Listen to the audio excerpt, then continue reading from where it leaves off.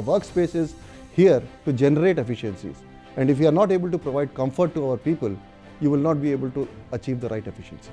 Gone are the days when people used to only talk about temperature and humidity. Now people talk about the indoor air quality.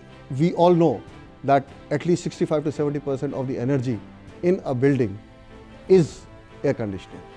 Just the orientation of a building makes a lot of difference because the heat intake that we are having is much lower when I orient my building properly. Even the fresh air intake is not direct. A hot uh, air from outside, when it comes in, it's already reduced by 10 to 12 degrees. Typically, this scale of a building would have taken about more than 2 megawatts of power, which we are currently uh, running in less than 600 kilowatts.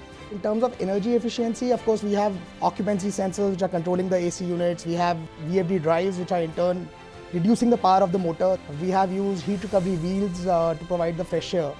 We have used one of the world's most efficient uh, gas uh, generator sets uh, manufactured by MVM. We are recovering the complete heat, giving it to the absorption chiller and we are getting the designed results.